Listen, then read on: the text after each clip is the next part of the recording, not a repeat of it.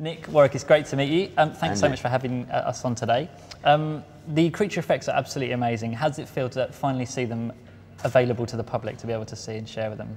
I love it myself because we've put so much sort of heart and soul into all of this work over 10 years that for people to actually come and appreciate it, you know, is a real bonus. Because normally on a movie, these things, you know, they go in a skip or they get trashed or they end up on eBay or whatever happens to them, but you don't get to stand back and have your work presented so professionally to people. So, no, it's brilliant. And were it for you seeing um, masks and costumes that you were in and were wearing, how does that feel for you?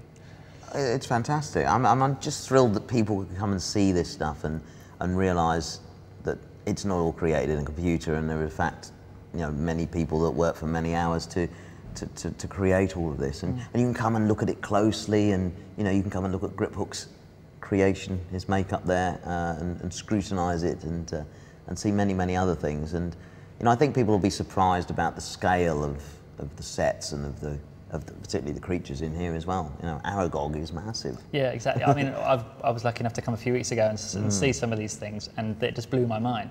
And you mentioned the computer effects side of it. Was there ever a fight from special effects to to say no, we want to take that on over visual effects? Uh, Oh, there's a constant. Well, it's not a fight.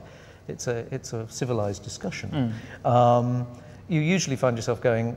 It's all about practicalities. It's can you build something, or do the laws of physics stop you? Does it make sense to do something? Does the action mean you could build something practical or not?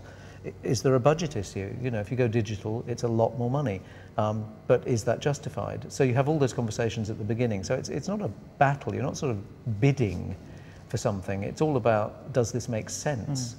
And very often things are a mixture of both. In fact, I think things work best when they're a mixture of both because then the reality of the practical thing stamps itself on the CG thing and the complexity of the CG thing, you know, seems to stamp itself on the real thing and suddenly you buy into the character. Yeah. Do you hope to inspire people, so in acting or in um, special effects and uh, costume design and all this stuff, that the whole place is just packed full of inspiration. So little Yeah. kids that are, you know, uh, one, two, three, four, five out now that, you know, in 20 years might be doing what you're doing. And it's, it's Oh God, I hope they are. Yeah. Yes, I hope so. I hope And if they do, employ me to be in it.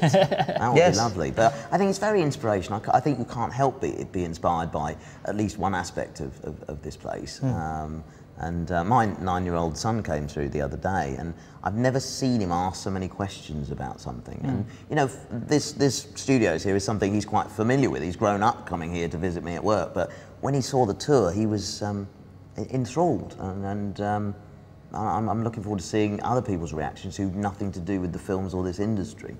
Is it strange for you um, having all these sets so close together? Because I assume they were all spread apart and, you know, and, and Over, separated. over several films as well. course, yeah, of sometimes, course. Seeing them that you can walk from one to the other in very close proximity is is uh, is, is very unique and different. Um, And it's strange because, you know, sort of I know that, you know, for several years, if I stepped out of a certain door, I could nip round the corner to the coffee shop or back to my department. And now if I go through that door, it's a brick wall. Yeah, well, they've rebuilt the whole place. You know, so literally the buildings it is that strange. But when you're in the sets themselves, it, to, you know, for us, it is like just being back there. Mm.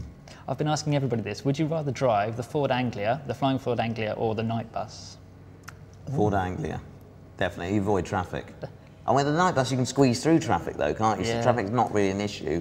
Although low bridges, I could squash. See, not the I simple question fly. you thought it was. No, is I know. I went into it, didn't I? Blindly. That I want to fly. There's Get, quite give a me lot the of car. depth to the question. You, you have to look Yeah, into you it, have to think about it. car, what do you yeah. want? And Nick, yourself? I, th- I think I'd probably go for the Ford Anglia because the thought of me even being in charge of a bus worries me. Fantastic. Is there one um, effect that you've created that you are proud of over all the others? I mean, you don't have to say me. You know, just say something. it's sort of embarrassing. Just, just don't say my makeup. Say something else. No, I can say your makeup because it's got nothing to do with, you know, you were on the inside, weren't you? Um, I think the Goblin sequence I was most proud of when we actually completed it. But just seeing the way, you know, I get the kick when some kid comes round and they see something and it's a patently fake thing we've made and they react to it as if it's real. Yeah. That's what, you know, if you think the spider's creepy, we've won.